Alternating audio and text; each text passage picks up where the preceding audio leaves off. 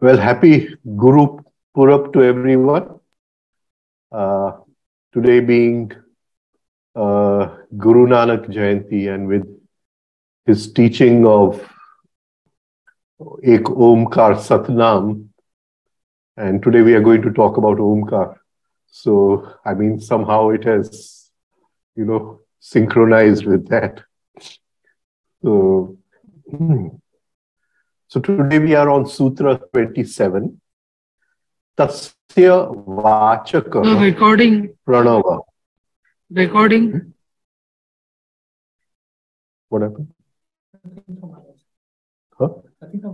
No?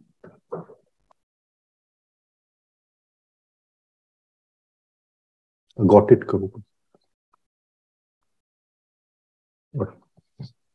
Now, just let us uh, uh, go back a little, something which we have talked about before. We'll just repeat. When a student comes on the path, he, as he walks on the path uh, with his teacher or on his own, he passes through different stages initially he finds that uh, his attachments are seducing his attention. So he wants to take his attention inside. He wants to uh, take the attention inside. But something keeps seducing his attention, carrying his attention away, abducting his attention. And it is because of these attachments that he has outside, he finds it very difficult to uh, take the attention inside. So we can say when a student first comes on the path, uh, he comes under what we would call the law of gravity, right? That he wants to fly in the air, but every time his attention is again seduced by the material world, by the world of relationships. And he keeps falling back on the ground. So gravity keeps pulling him back. And we see that we have attachments. We have physical attachments, that is, material attachments uh, in the bhulok, in the physical world we have attachments in relationship. If my son has an exam tomorrow my attention will keep going to that point in tomorrow. So we have a, uh, what do you call attachments. And we have attachments in thoughts and ideas and conditionings etc so every time he makes an effort he keeps getting pulled back.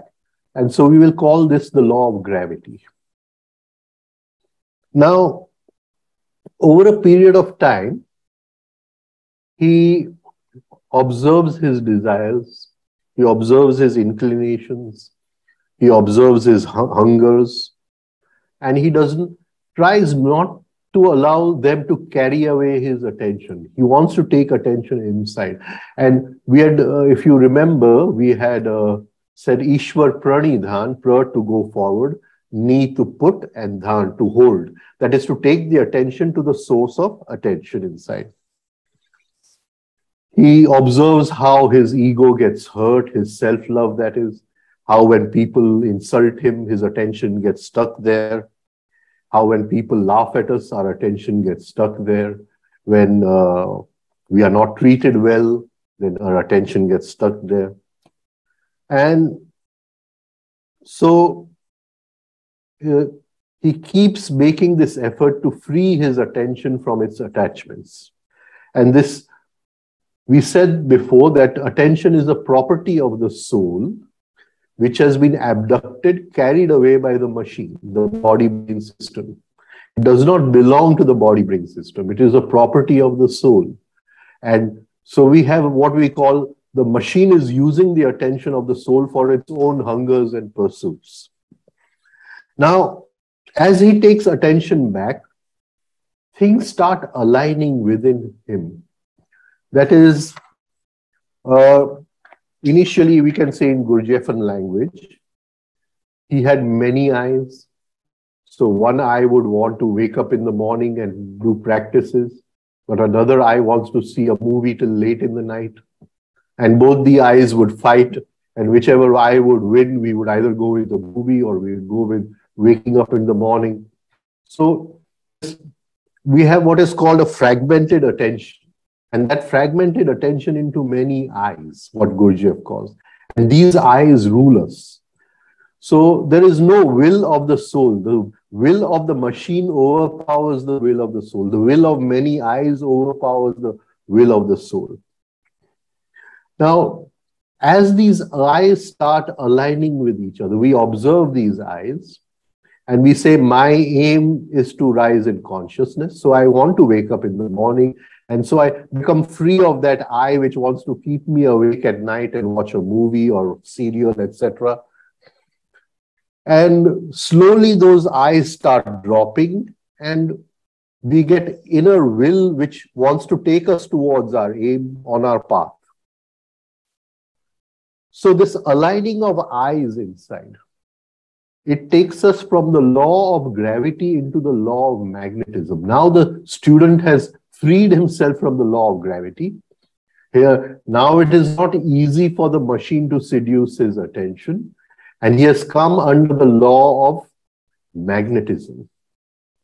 I'll just try to, what do you call, explain this in a different way. Science says that everything has magnetism but because in the atoms, the north pole of the atom uh, neutralizes the south pole, we don't see that magnetism. So even a, even plastic will have magnetism, even ceramic will have magnetism, but that magnetism is neutralized. One pole neutralizes the other pole. So one eye, the will of one eye waking up in the morning, the will of the other eye staying awake at night neutralizes the other. Now, supposing we were able to bring all the north to the north and all the south to the south in a piece of plastic, then just like iron exhibits magnetism, plastic would also start exhibiting magnetism. So when all the eyes start within us, they sort of come together that we have one aim, and that is to rise in consciousness. There's an inner alignment, and the student moves from the law of gravity to the law of magnetism. Now, when we are in the law of magnetism, we see so many changes in our life. And I have talked to so many people over the years, and they come to me and they say, suddenly things started changing in our life. And I realized that they are moving from the law, they have made this inner effort, and they are moving from the law of gravity into the law of magnetism. And we would be shocked that events arrange themselves in such a way that we can do our practices, we can make a better effort. Uh, overnight, friends can change. I mean, the old friends could go away and new friends would come who are helping us on our path. And all this, when it starts happening, we see these changes, we realize that we have moved from one law of gravity where we were being pulled back to the earth all the time. We are free of that law, and now we are moving in the law of magnetism. Now, the third and final law in which the student comes is the law of grace. And when he comes to a certain inner circle, he comes within proximity of the divine. When he comes to a certain proximity of the divine, then the divine is pulling him. Suddenly he feels that even if he does nothing, even if he just allows himself to flow, he, he feels that pull of the divine happening every moment. And this pull of the divine is the grace of the divine. But for that, for for that grace of the divine to come in our lives, we have to come into that kshetra, into that uh, magnetic field of the divine, where the divine is pulling us every moment. And it is at that time when suddenly he sees that there's, whether he practices or not, Whether he does it, everything is happening in some effortless way, as if now the divine is pulling him closer and closer to itself.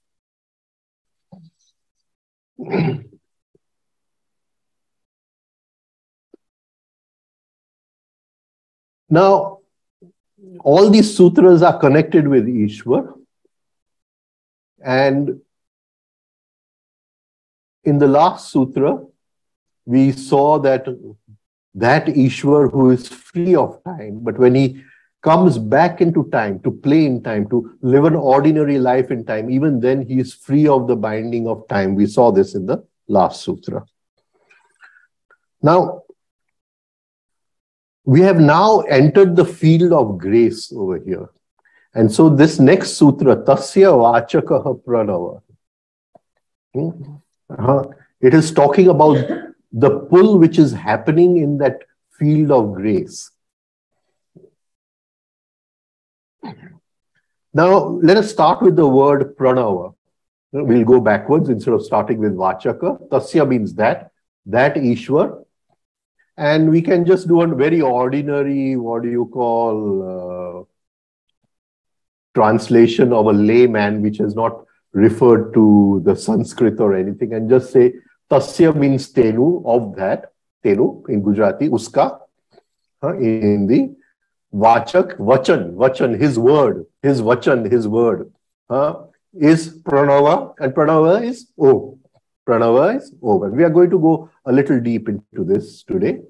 So, uh, just an ordinary translation, his Vachan, his word, his promise, right, is O.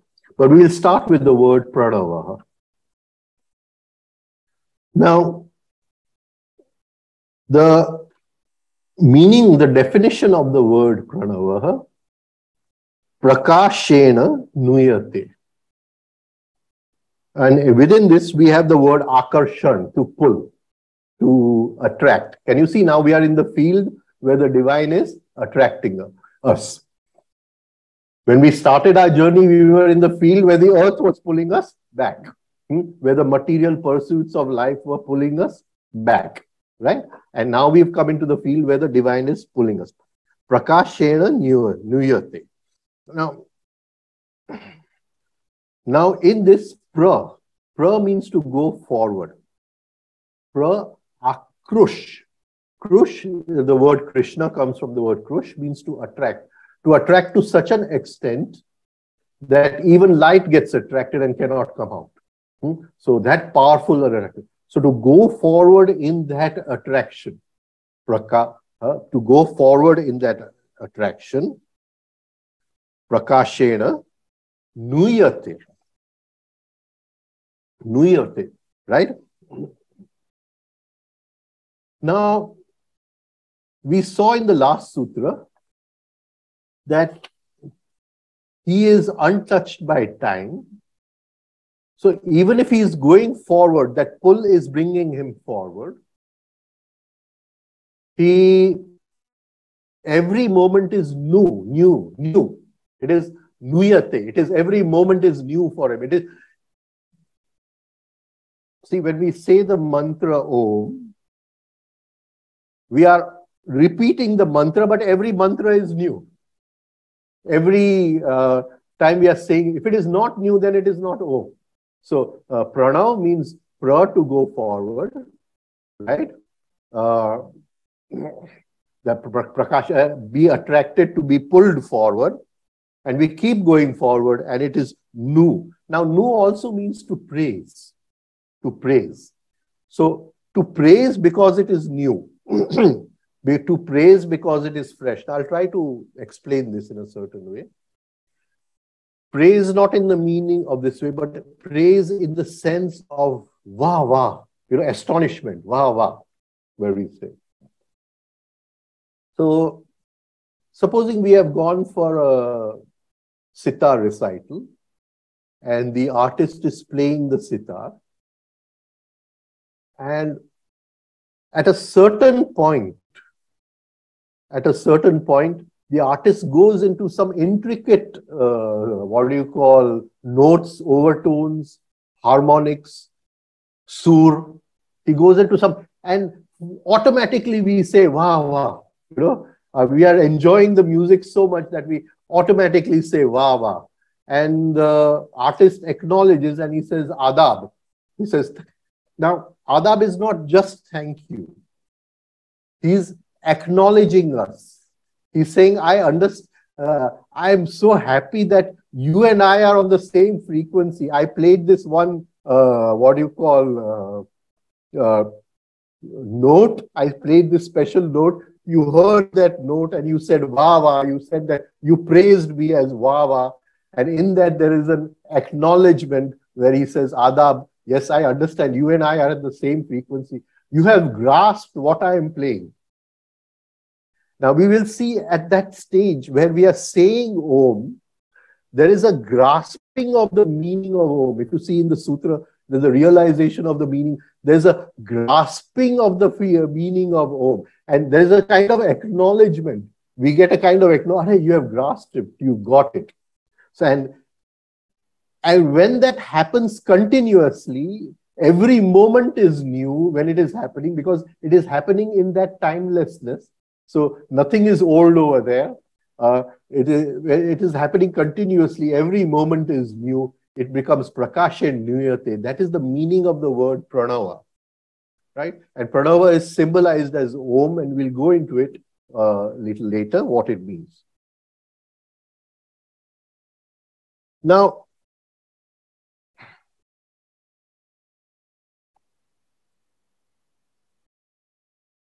we'll just go into the words.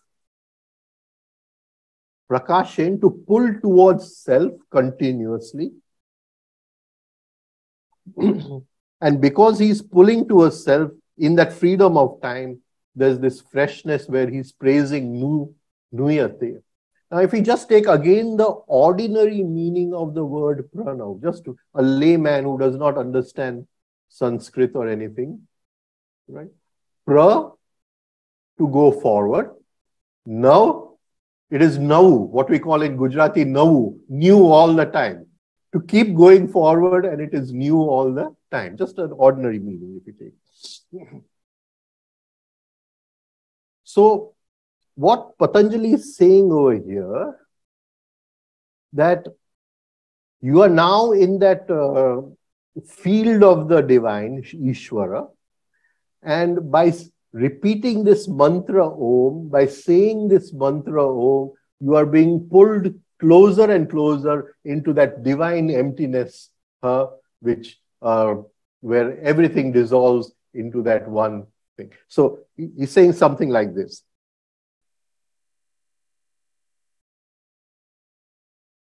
Now, because it is new every moment, we cannot say it is a repetition. I'm not repeating the Om, but in a way I'm repeating, and we'll come to that later on. It is a reverberation. I'm reverberating the word Om. I'm saying it. there is a resonance. Now, my teacher, uh, Sahib, he used to say that the human structure, the human conditioning which man is in, uh, it, it is so powerful, it is more powerful than a thick iron plate. It is more powerful than a thick iron plate. And it takes years of hard work to break free from our attitudes, our habits, our different conditionings, our so or the contradictions we have inside. That is, as we observe them, we break free of them. It is only then that this iron structure changes. That it, what Gurdjieff calls, we change our level of being. Now,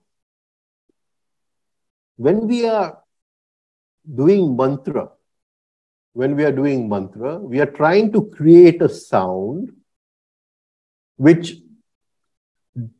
crumbles that iron structure, that uh, what do you call, which breaks that iron structure in which we have been conditioned for thousands of years. I don't know if I'm coming across it. Now, sound itself cannot break that structure. It is the resonance, the reverberations of the sound which we create uh, that go to break that structure. uh, we can say this in another way that in the Second World War, uh, the British were throwing a lot of bombs on the German dams, and the dams were not breaking. And uh, they were really puzzled that we are throwing so many bombs on the uh, dams, and these dams are not breaking. So one scientist was studying this uh, phenomenon, and he was he had this habit of taking a bath in his bathtub with all kinds of small boats and toys around him, and he would play with them when uh, taking this bath.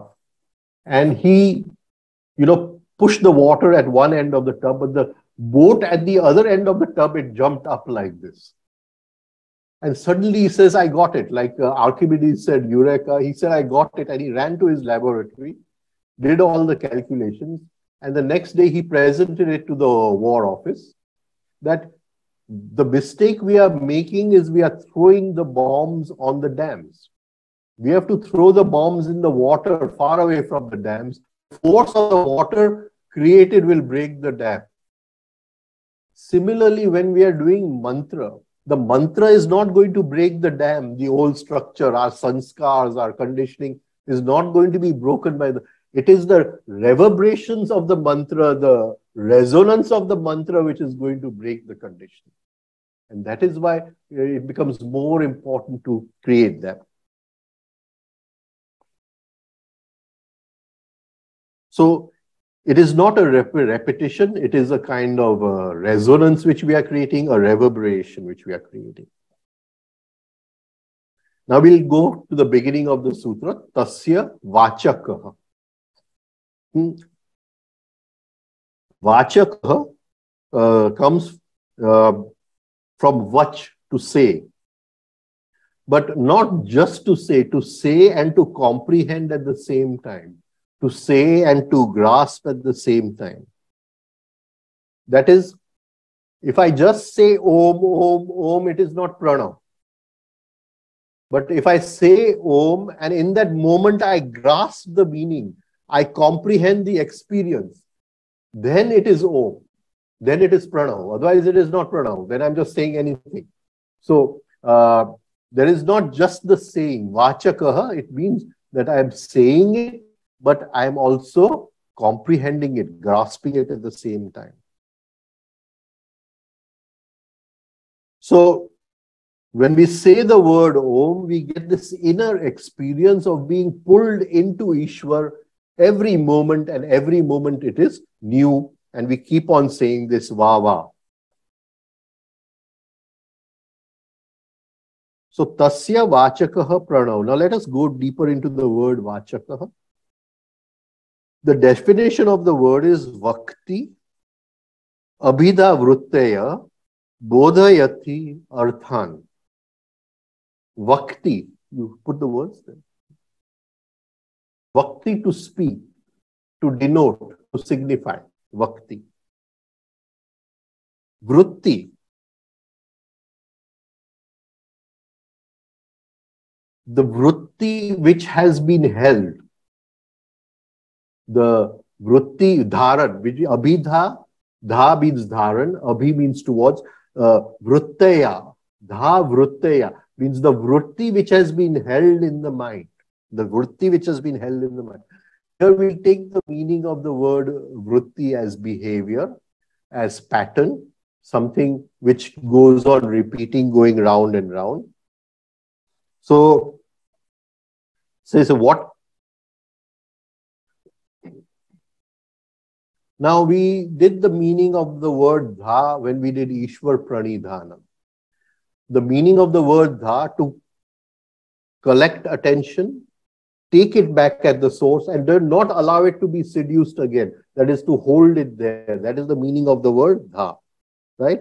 So abhida, to, to collect that attention, put it there, and move towards that inner pull.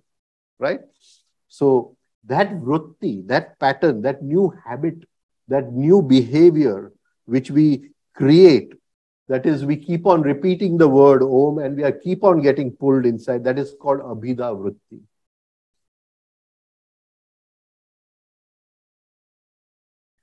Now, what kind of behavior? What kind of vritti? That vritti which provokes the knowing of Ishvara. That vritti which becomes a cause for the knowing of Ishvara. Now, just we'll try to understand this. That I say I can't pay my bills. So I have a vritti that I don't have any money. Right? So now this vritti may become a cause, may become a cause for me tomorrow to make effort to earn some money. Can, can you understand?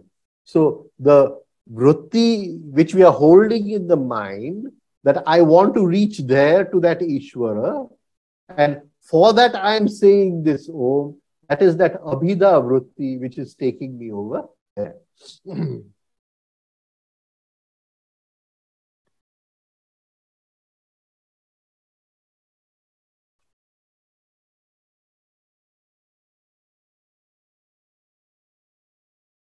Now, Abhida also means in the sense of naming, in the sense of naming. So, supposing uh, we have a map on the table and I say you have to go to this place. So now if I go to this place, then I have to name that place. I have to name that place, right? So I name that place as Pranava. Oh, I name that place as Pranava. This is the place you have to go to. How do you go to that place? Huh? So the inner desire to go to that place is Abhida Vritti, right? But how do you go to that place? By collecting your attention and filling it up inside, giving it back to the soul inside. That is how you do it. But I come back after some time and I say, You have uh, what do you call, gone on some diversion somewhere else. You're not moving towards that place which I'd shown you on the map. Uh, you have got stuck somewhere else. So maybe I see you're stuck in getting insulted somewhere, or you're stuck in some other fulfilling some other desires of life.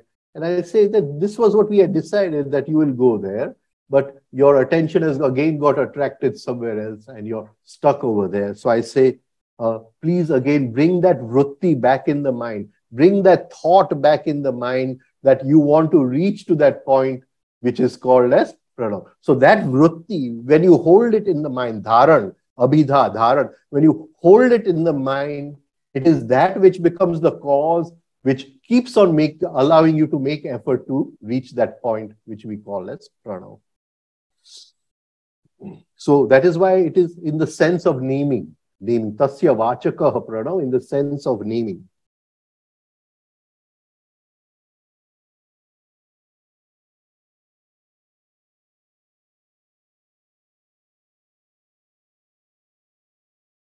So Abhida Vrittaya is the continuous and repetitive behavior that I want to go there towards Ishvara. And at times we forget because that we are not holding that thought in the mind, that desire in the mind, that wish in the mind that I want to go there.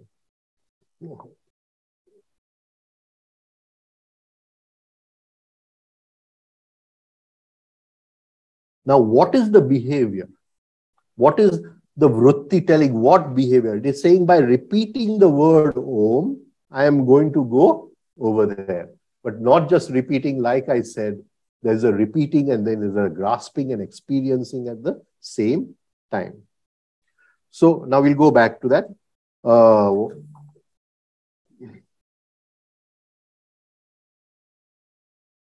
the meaning of uh, Vakti to say Abhidha Vrutaya Bodhayati Arthan. There is both of the Artha. Artha desire, the wish, the aim, uh, there is both of the artha. So by naming, by saying the word Om, I'm moving towards the grasping, both grasping, the comprehending, of the aim, the Artha, which is the Pranav, the, the Ishvara.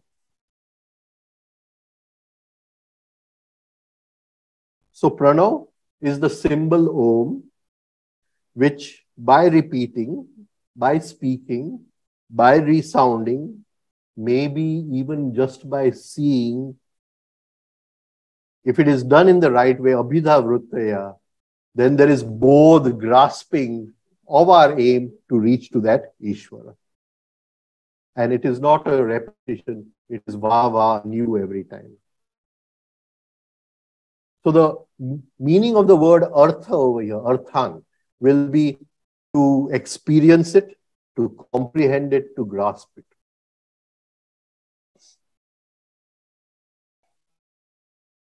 So teno vachak pranav, teno te, teno vachak pranav, tasya vachak pranav, that is by saying the Om, by saying Pranav, we experience that state of Ishvara.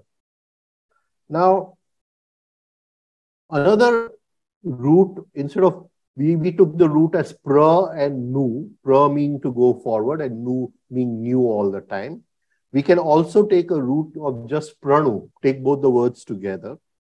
And that would again mean to resound, to reverberate. But let us try to go what the, into a deeper meaning over here of pranu. Now, in this mantra of Om, the Omkar is being said somewhere and we are only repeating it. We are only resounding it. We are only reverberating it. So there is a movement of consciousness from where we are repeating or resounding it to its origin, its source of where it is being said. Right? So, I mean, whenever we say the mantra Om, we may uh, feel that we are saying it, I am saying it, but I am only resounding it. I am not saying it. It has already been said somewhere else, and I am just resounding, saying it uh, again. And this is something which is quite dif difficult to understand. So there is some point in space time, somewhere within, deep down within me, in the inner emptiness, where that mantra is being continuously said. Tell him I'm in a lecture. He must be having some. Where the mantra is being completely, uh, continuously said, and we want to reach to that space where it is being said. So we say from here to reach to that space. And that space is Ishvara. Uh, we'll go back to our last talk, which we took last Tuesday. We call the supreme consciousness as the Shiv as the never changing aspect and Shakti as the ever changing aspect of that consciousness. And we uh, talked about how Shiv and Shakti over different stages separated. And at one point, Shakti took the sword of Kala because the sutra was on Kala, took the sword of, and she separated herself from Shiva and the what the, the dichotomy, the, the dualism of the universe was created. Right? uh, we talked about this last time. Now,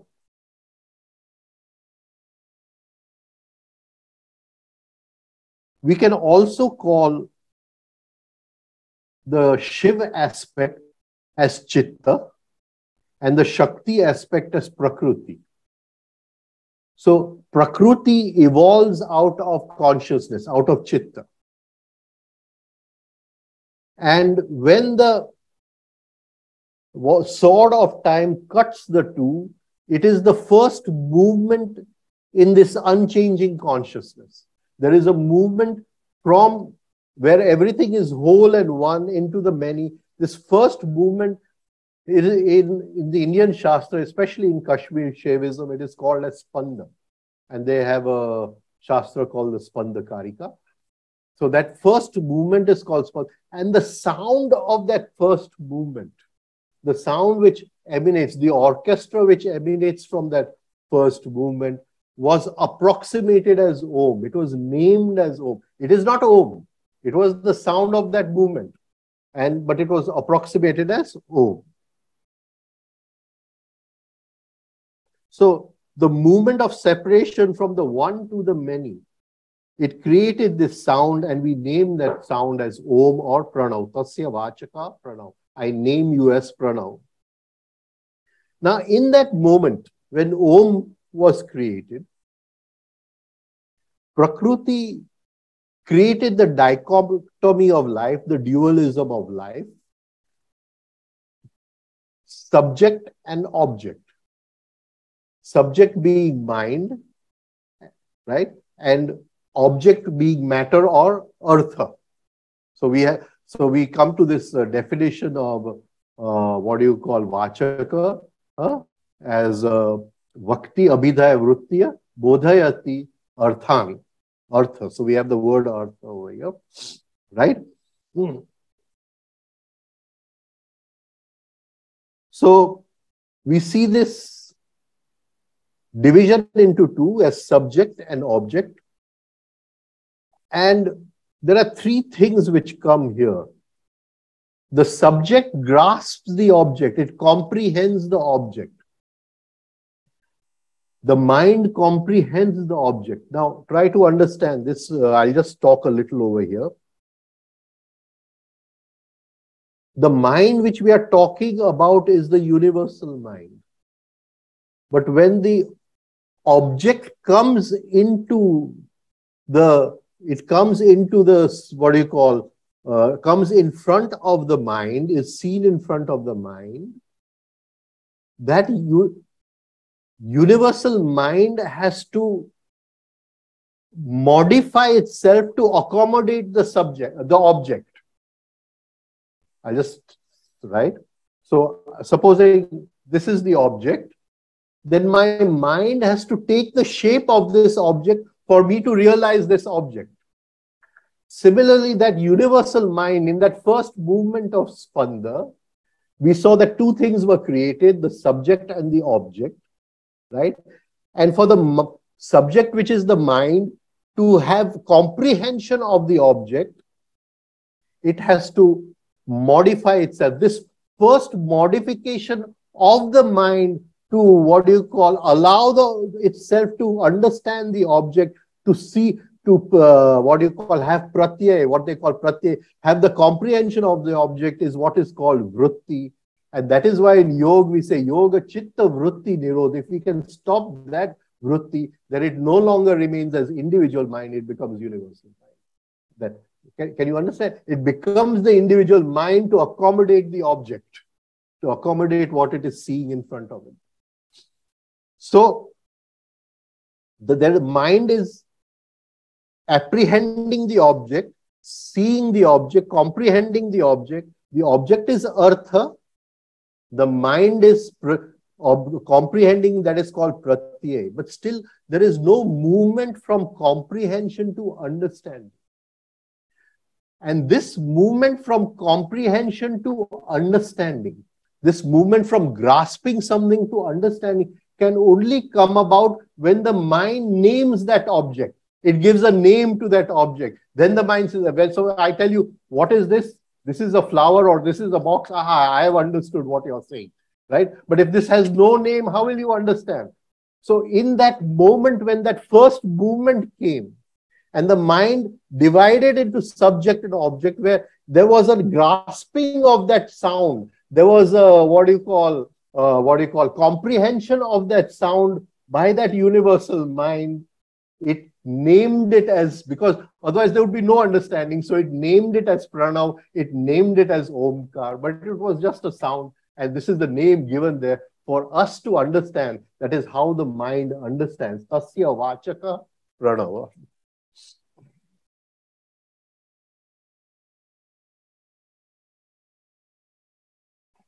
So we see that what is in front of the mind is pure vibration. It is not really an object. But when the mind accommodates that pure vibration, it the that vibration becomes artha or the object, and the mind becomes pratyay, it becomes the comprehension of the object, and then comes the shabda, the naming of that object. So there is understanding. And so there was the naming of that original sound as Omkar. In the supreme consciousness, Shabda, Artha, and Pratyaya are connected. They become one. They, they are not separate. But in man, they are separate, but they are also connected with each other. Now, if we take science, then science will tell us that this universe came out of the Big Bang. And that Big Bang maybe happened so many billion years ago or some point of in the past in time. But Shastra does not say this. The Indian Shastra does not say this. They say that that Big Bang is happening every moment. It is never in the past. It is always in the now. I hope I'm coming across in this. So that Omkar, it is not something which happened in the past. It is not that Shiva and Shakti separated or Chitta and Prakriti separated uh, in somewhere in the past. It is happening every moment. So that Omkar is being resounded every moment. So we say, Bodhayati Arthan. There is a grasping, there is a comprehending, there is an understanding, knowing of the Artha. That Artha is the sound of Omkar, and there is a grasping of that sound. The person who hears this divine orchestra, right? He, there's a grasping of that sound, and he says, Wah, wah. He cannot help it but say, Wah, wah. And in the reverberation of that sound, that Omkar tells him, You have got it, you have grasped it. And this, because it happens continuously, and this happens as he keeps repeating the Omkar till he reaches that state where that Omkar is manifesting and where he is repeating, there is that movement from here, and that is the movement, the pulling of Ishvara.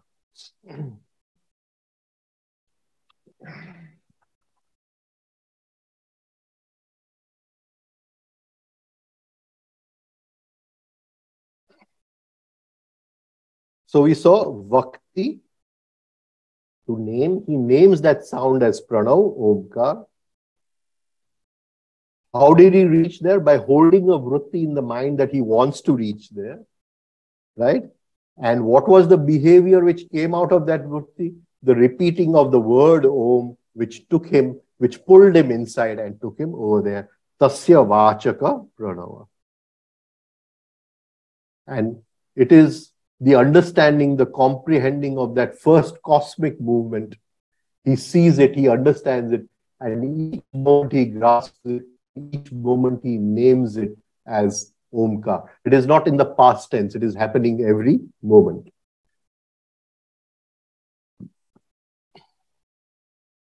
So we say the student first creates an attitude in the mind that he wants to reach there. Where there? Ishvara. For that, he repeats Omkar. But it is not just the repeating, there's the grasping and realization of its meaning with each repetition, which is new all the time. It is not a repetition. And when he reaches there, he says, Are I have I have been saying the mantra all this time, but the mantra was already manifesting over there. Right? I'm not supposed to say the mantra. I now hear the mantra and I name the mantra. And there is no longer any need to say the mantra. That saying took him from where he was repeating it so when we say the mantra Om, we are only repeating what is being said somewhere else. And it is there, that point which we want to reach, which we say there. So he hears that sound for the first time. He cannot help but praising it, saying Vah Vah. It is as if the Veena of Saraswati is playing there all the time. He comes there and he hears it. He says Vah Vah and he names it as Om Pranav. Tasya Vachaka Pranav. We'll go to the next sutra.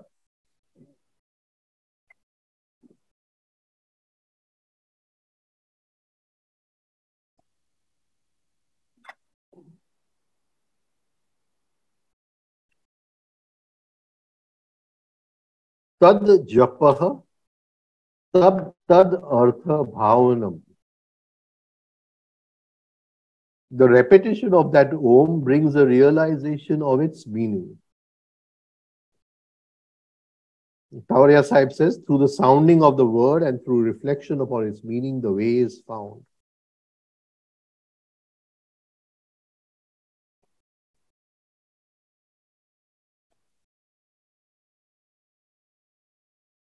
तद जप तद अर्थ भावनम अर्थ भावनम what it means I just change this translation a little over here we just change this translation over that is earth भावनम is the driving force for japa for japa. और अर्थ और the desire और the wish और the motive for realization of that Ishwar and its meaning is the driving force for our japa of Omkar. Right? It is the causal, the uh, what do you call efficient cause for us to do the Omkar. Just changing the meaning a little from the meanings which we have taken.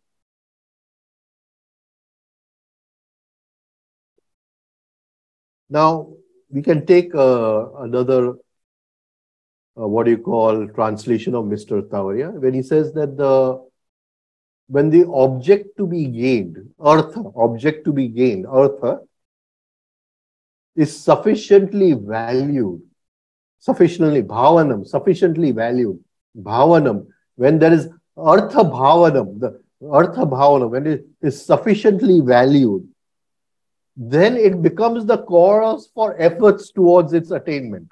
That becomes the cause for efforts towards its attainment.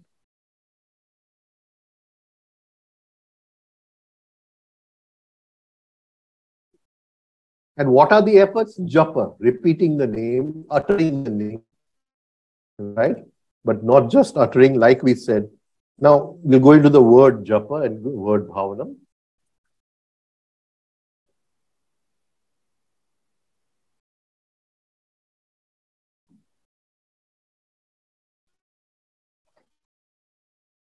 Now, in life, the cause could be anything, right? So, a cause could be I've fallen in love with a beautiful girl, right? So, that is the I want to realize the artha bhavanam of having a beautiful girl.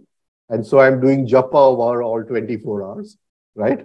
So, uh, we can say it in that way.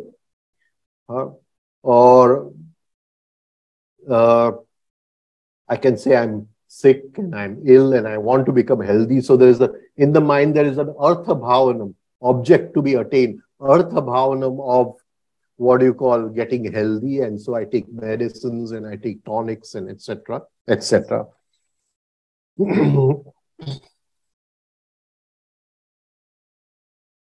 so the wish, the desire, the inner desire to attain that state, that becomes the cause the driving force for japa.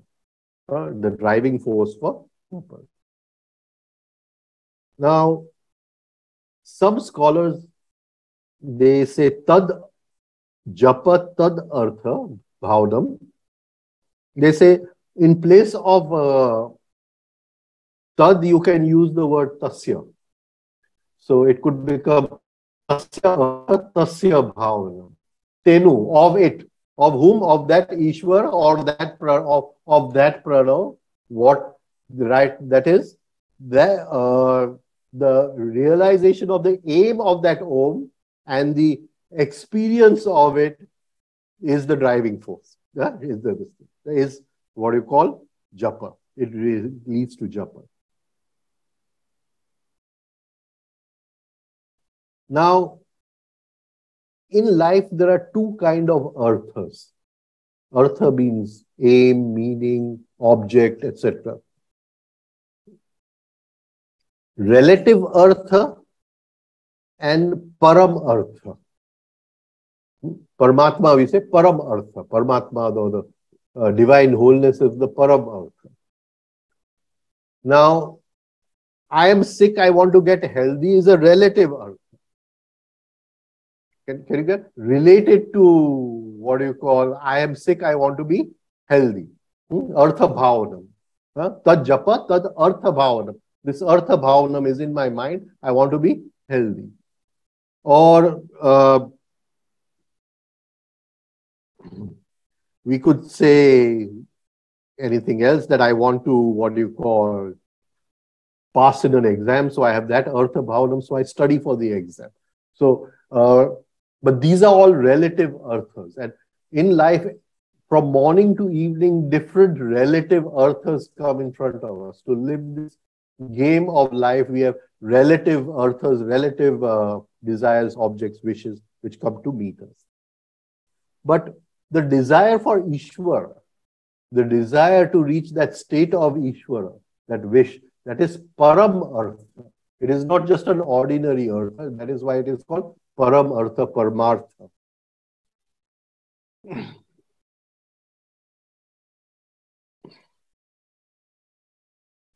Relative arthas keep on changing in life. Right? When I'm young, I may have one relative artha, but as I grow old, the different arthas may change. But the param artha does not change. It is always the same.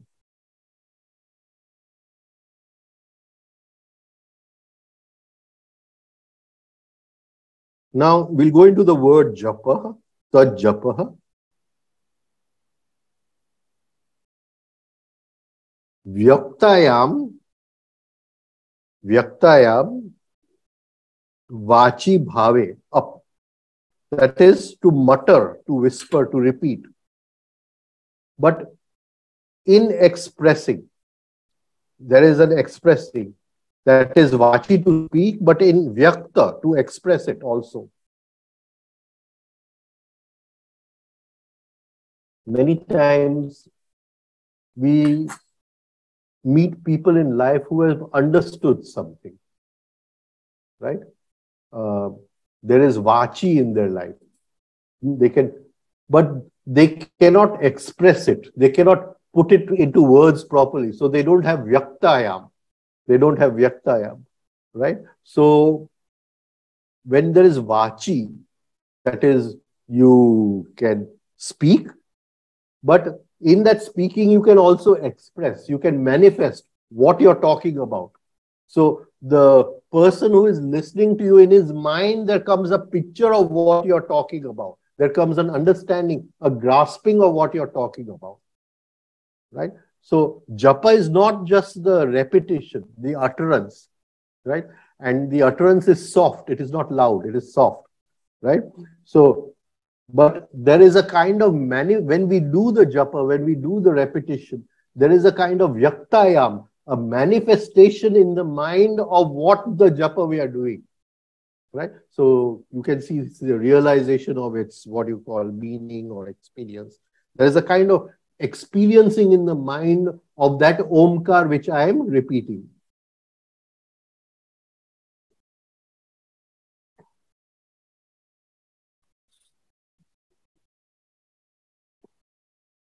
So each time it is new and I express and I understand the meaning within.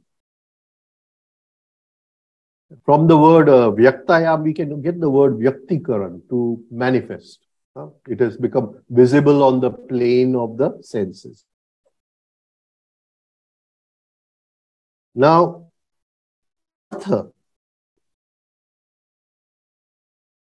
we saw as the efficient and bhav, bhavanam,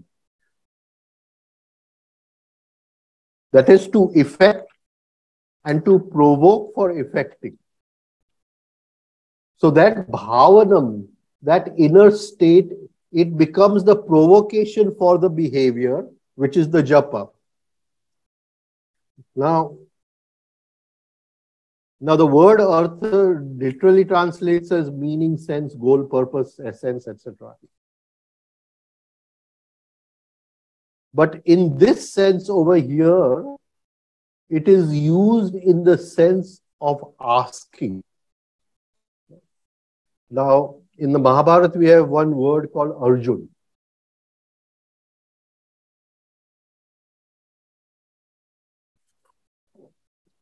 So, the meaning, there are many meanings of the word Arjun, but one of the J Arji courage, the one who is asking, the one who is asking. So he's doing a yachna, what we call, he's doing a kind of prayer to the Guru, you please give me the knowledge. That is why Arjun is the disciple, the Sishya, the one who is asking from the Guru. He's, uh, what do you call, uh, doing a prayer, yachna to the Guru, that you please give to me. Right? So, artha can have a meaning of to make an effort to go and to obtain and get it. That can also be one. And the other way, you get it, but you don't get it by going and obtaining it. You get it by praying for it, by uh, uh, doing a yachna for it, by doing a kind of asking for it, urging for it. So, in that is the sense in which the word artha, japa tad artha is used over here. We don't go and we get that artha. We uh, say the mantra om. By saying the mantra om, we are taken closer and closer towards that artha. But in the sense that we are praying for it, we are asking for it, we are worshipping for it. Not in the sense that we go and get it. We entreat for it. So, eh, artha, the artha dhatu would be arthayate, making that yachna, making that effort, the entreatment for it. So the meaning of the word japa, uttering and manifesting in the mind, that artha, the meaning on or the object to be gained, which we are asking for.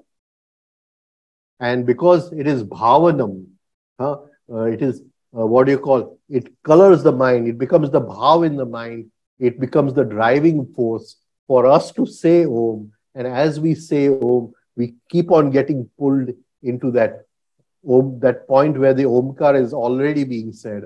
At one point, the Omkar will drop what we are saying, and we will be hearing that original Omkar, which is fresh, new, every moment. It is that cosmic, what do you call, orchestra, which is saying it. And we will be, just as the first person named it, we will be naming it Tasya Vachaka Paranava, Tad Artha, Tad Japa, Tad Artha Bhavanam. So the desired object of attaining that state became the driving force, the bhavanam, the driving force for us to say the japa to reach there. I'll stop over here. Right? I hope I've been able to come across uh, these two sutras. Any questions, please go ahead. Yeah.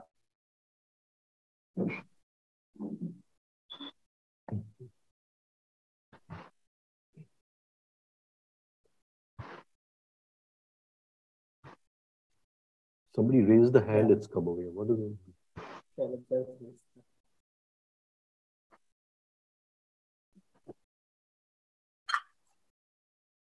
Uh, hello, sir.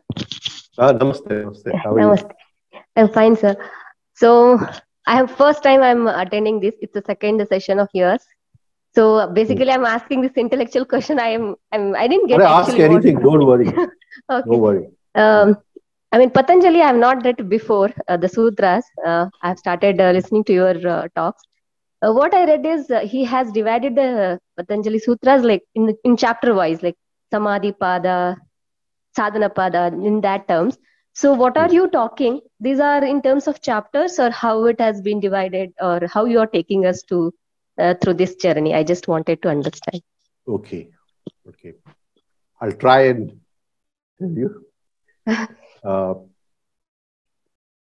you know, it is this body brain system uh, which we have to use to achieve a certain goal. Supposing we call that goal as Ishwar, which we have been talking about in the past, sutras, right?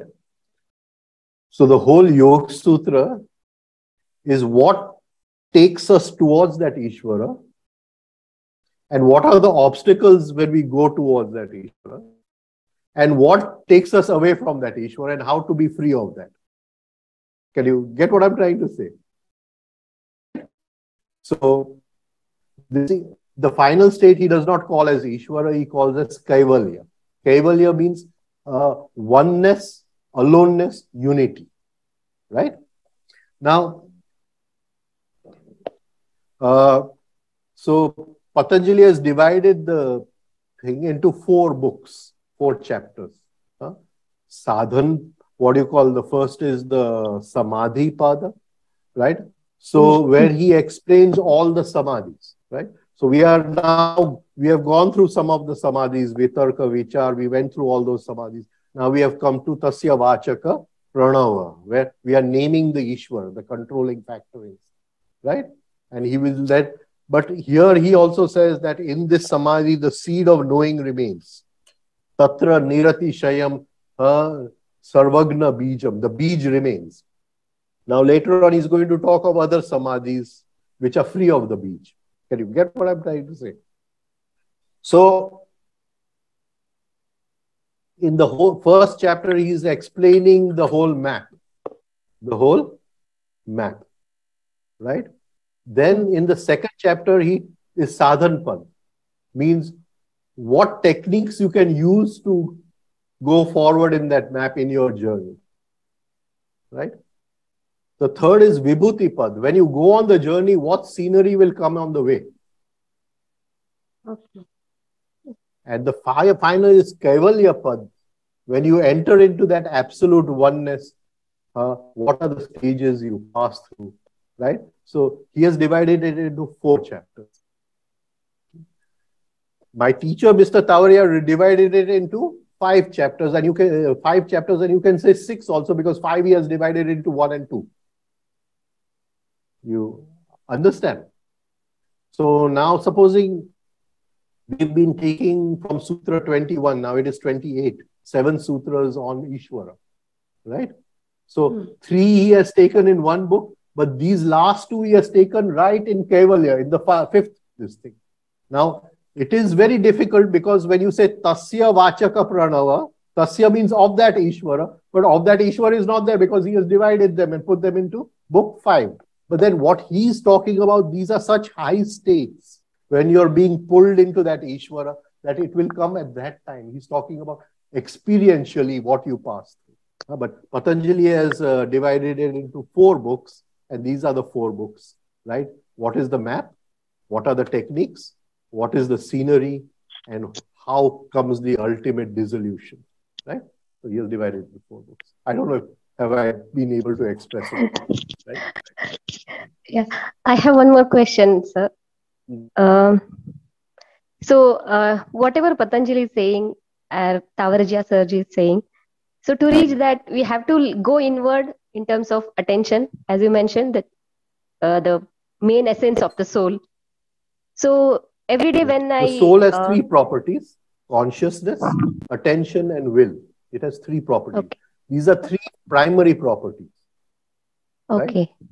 It is when attention flows through the body brain system we are living.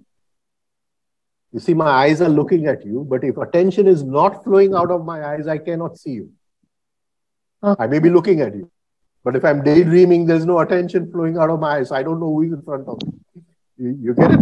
What I'm saying? Okay. So, uh, attention has to flow out of the sense organs, and that attention is the property of the soul. It belongs to the soul but it has been abducted, what do you call, uh, brain carried away, seduced okay. by the body brain system, which Gurdjieff calls the machine. Right? So, attention, which was the property of the soul, has been taken over by the machine. Now, our effort is to take it back from the machine, it goes back to the soul. When it goes back to the soul, at one point, the machine is just now controlling the soul. The soul starts controlling the machine, the body brain. And that is the point of Ishwar, the controller, the one who controls. Yes. So, uh, in terms of refining exercises, I could uh, literally like see the differences, uh, you know, where my attention is going. But certain situations at home, at with the people, uh, seeing the likes and dislikes within me, it like whole body system goes like havoc. Uh, when I do refining exercise, it's it's fine. But the moment if somebody you know raise something which is against, I I try to look in, but it takes a lot of time to okay come to that. Okay, I was looking into something which is not, uh, which is my pattern within me or conditioning.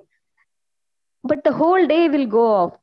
So uh, here my question is, I've I've been doing uh, refining exercises from past two months, um, and before that I was doing some other practices like kind of uh, yogasanas and all. But there is a lot of difference when I was doing hatha yoga and the refining exercises. There's a lot of difference. It's such a such a coolness in my body happens when when I see observing the things, comparing with people. I mean, when I with people, it's very difficult uh, situation is happening. I, I don't know how to handle such things. Uh, but when I try to to be attentive, try to be observe, uh, the whole body system goes havoc, sir. So uh, could you please suggest something? See, when we observe, the idea is not to judge, to observe impartially. So even if we are observing order, we are observing, and if we are ordering, if we are observing chaos, also we are observing. Okay. The thing is that the whole body brain system goes berserk and we get identified with it. Then we are not observing. We are just hmm. aware of it. Can you can you understand? So yes, the idea is to to observe. Don't worry about what you're observing. Right? Okay. Just observe just observe. It is that person who is observing who is important. Hmm. The subject, the subjective uh, experience of observe, observing, which is important. Hmm? So don't uh, this thing. And uh, you see, all these conditionings have come over thousands of years. We in one night we are not going to be free of. Yeah, yeah yes, sir. Time. Even to get a BA degree takes twenty years. Right? So uh, uh, this is going to take time. Don't worry. Uh, but keep practicing. I'm very happy that you're observing and making this effort. It's really, really good that you're doing this. It's, uh, I must congratulate you on that. Yeah. Thank you. Thank you.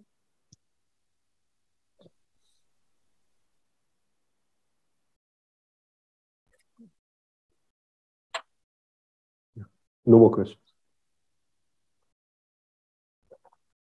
Any on the net? No.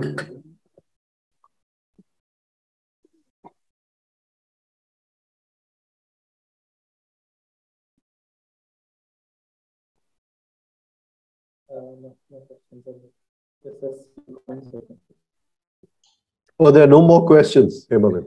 Uh, Rajen Bhai, can I say something?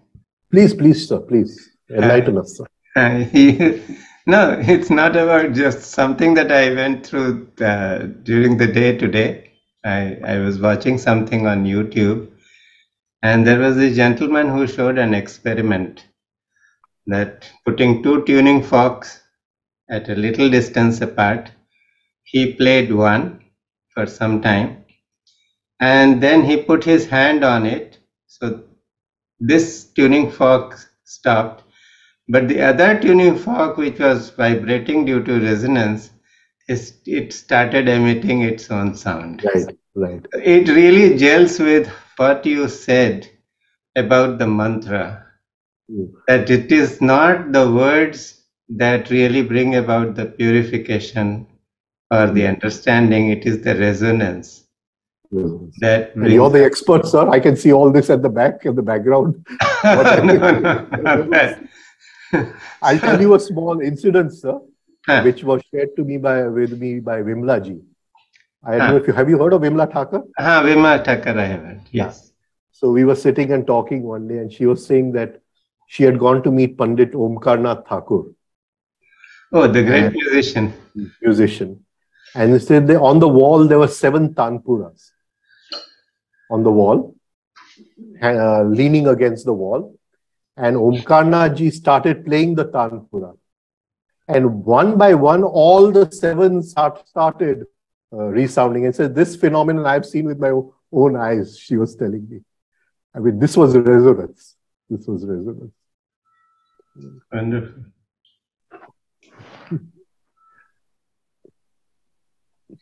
Uh, good evening, Rajen sir. Yes, yes. Yeah, okay. I just wanted to share one thing. Uh, recently, a few days ago, my son sent me a video uh, on a black hole. So it was like some research, like scientists, they wanted to, uh, they had taken out some sound from the black hole, uh, what that was, but it was it was not audible. So they amplified the sound of the black hole, and he just, uh, my son sent me to just listen to it. And when I listened to the sound, it uh, resonated perfectly like we do Omkar. And I was, I just got so connected with that sound.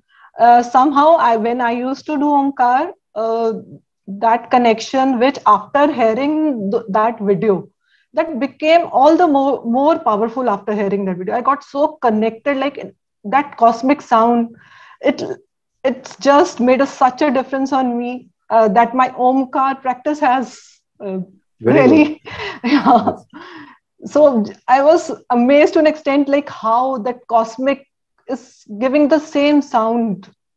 That was that really left an impact. And every time now i do the omkar practice i just connect with that.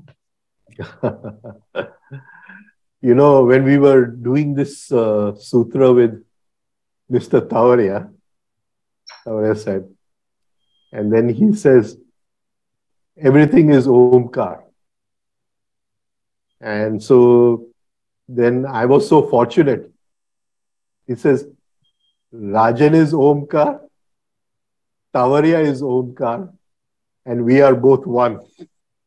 so I have it on tape also. I mean, uh, this thing, yeah, he, he's saying Rajen is Omkar, Tavaria is Omkar, and we are both one. And then he repeated, we are both one three times. so, you know, everything, every word is Omkar. Every word is Omkar. Right? Everything has come out of that. That is the first movement of that where nothing was changing, nothing was moving. Yeah. So, when you were explaining all this, I could connect it so well with that, yeah. that that Omkar is already from some source and we are just resonating it. Yeah. Thank you so much. Actually, Samarji, Japji Saab offers very beautiful insights. Mm-hmm. Yes, sir. Okay. Who offers?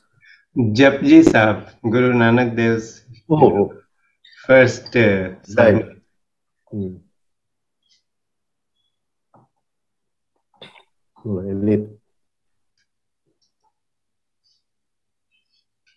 No other questions? So we'll continue next week, Hebaji. Ji, sir. Right. Next so people are uh, asking in the chat box about the lunar eclipse, what to do. Any insight you would like to share?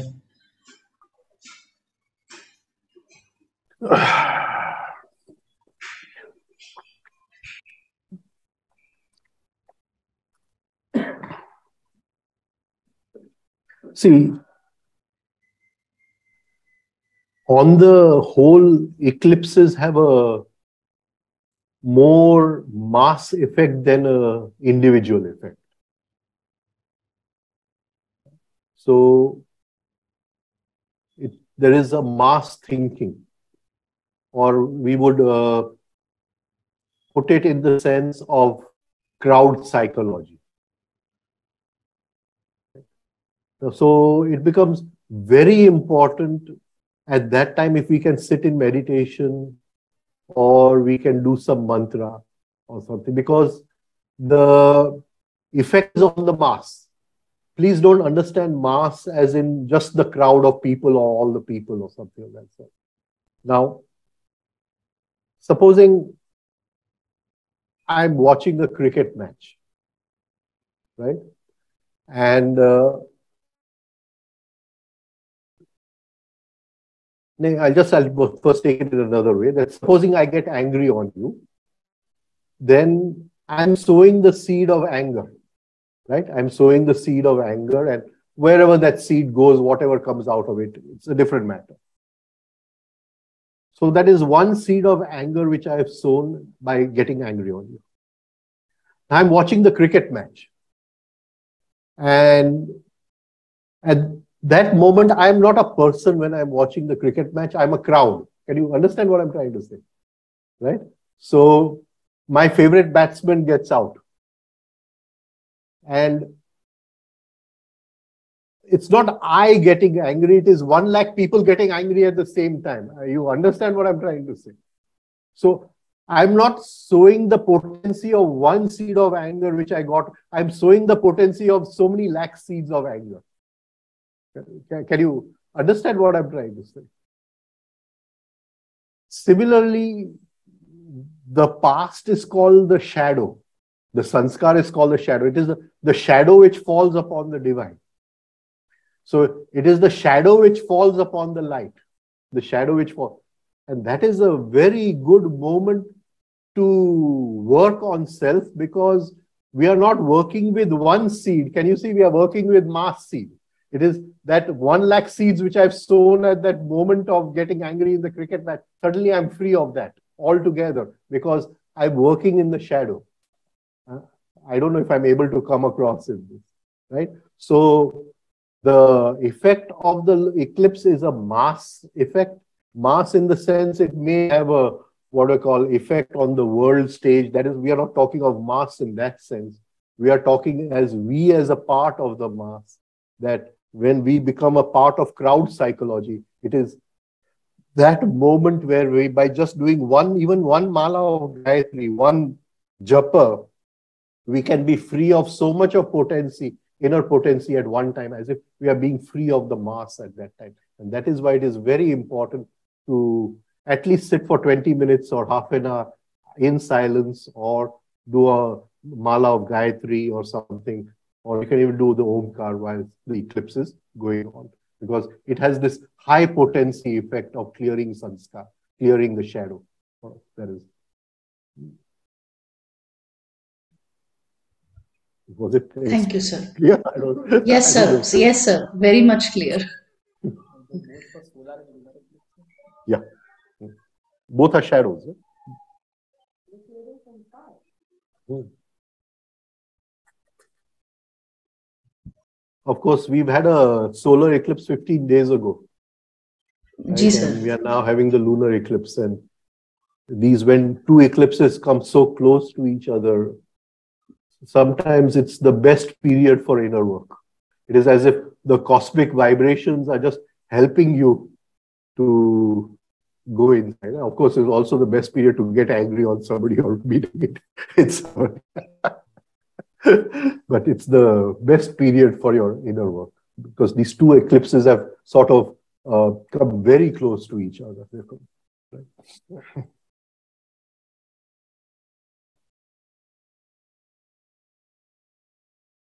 One of uh, Mr. Tavaria's sayings is that somebody asked him a question uh, that how do I know when I'm enlightened? So he said that can you see the sun? It's coming through the window, the rays of the sun. Is when the rays of the sun fall upon you and you don't have any shadow, then you know that you're enlightened. Now, he, definitely, if the rays of the sun fall on me, there's going to be a shadow. He's talking about something much deeper. What I'm trying to say is that in the shadow, we want we can be free of the shadow, and to be free of the shadow is to be free of that which is covering light. Yeah?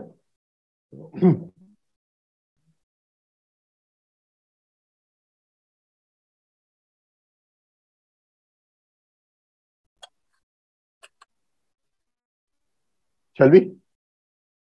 Thank you very much. Yeah, thank you. Shall we stop Ji, sir. or Ji, anything sir. else? Right? God, sir. Sir, would you like to? Gorji, Gorsab, Uh, uh, yes, Emma you could close for us. Okay. So we'll. Uh, so it's it's a time of healing. So maybe I will do eleven times the Dhanvantari mantra if it is all right, Rajen bhai. Please do, please do, sir. Okay.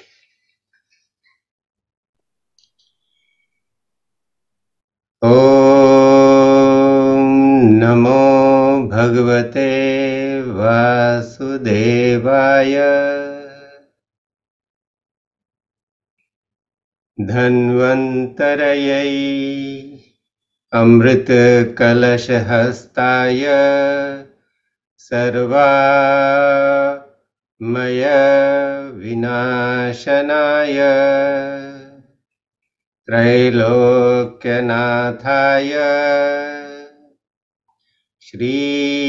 श्रीमहाविष्णवे नमः। ॐ नमो भगवते वासुदेवाय। धन्वन्तरयै अमृतकलशहस्ताय। सर्वामयविनाशनाय त्रैलोक्यनाथाय श्रीमहाविष्णवे नमः। ॐ नमो भगवते वासुदेवाय। धन्वन्तर्यै अमृतकलशहस्ताय सर्वामयविनाशनाय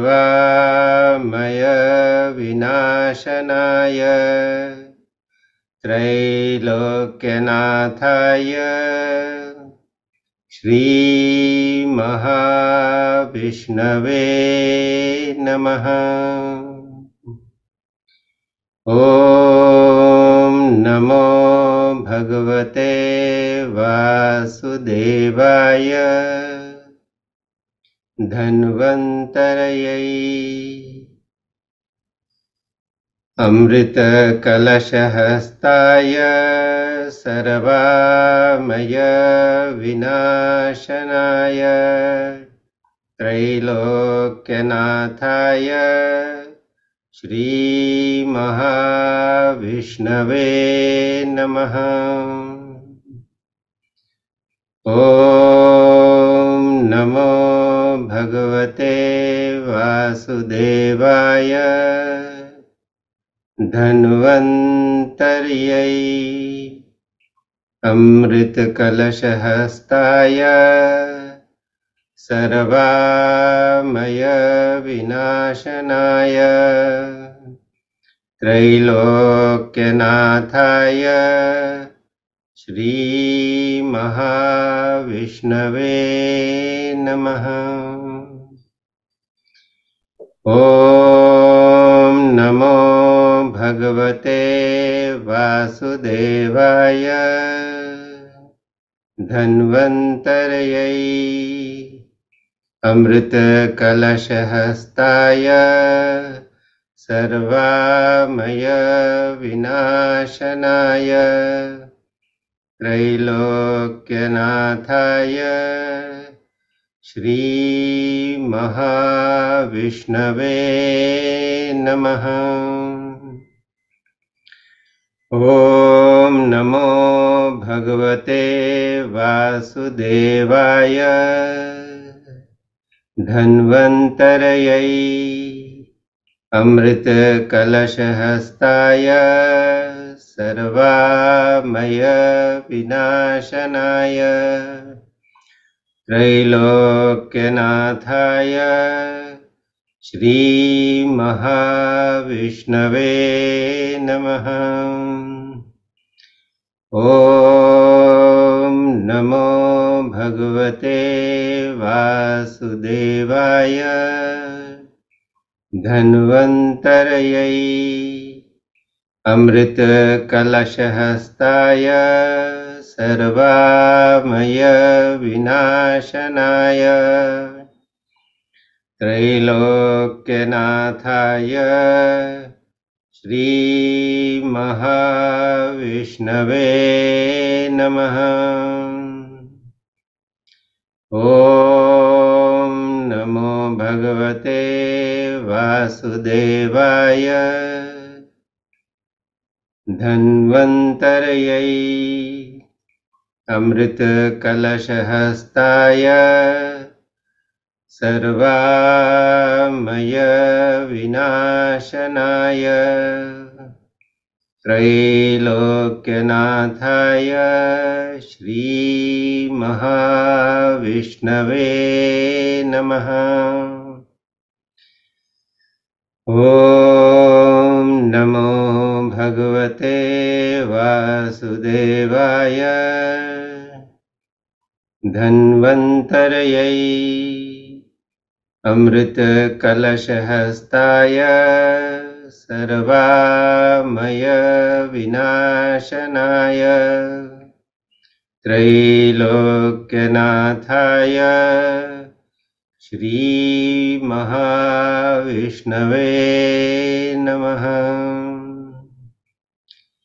ॐ नमो भगवते वासुदेवाय।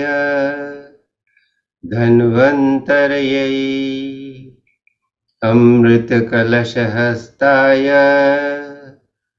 सर्वामयविनाशनाय त्रैलोक्यनाथाय श्रीमहाविष्णवे नमः।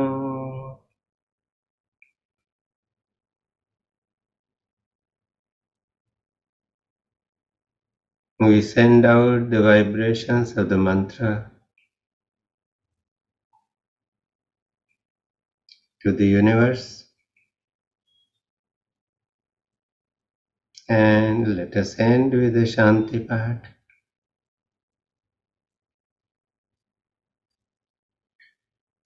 सर्वेषां स्वस्तिर्भवतु सर्वेषां शान्तिर्भवतु। सर्वेषां पूर्णं भवतु। सर्वेषां मङ्गलं भवतु। सर्वे सुखिनो सर्वे सन्तु निरामयाः। सर्वे भद्राणि पश्यन्तु। मा कश्चिद् दुःखभाग् भवेत्। ॐ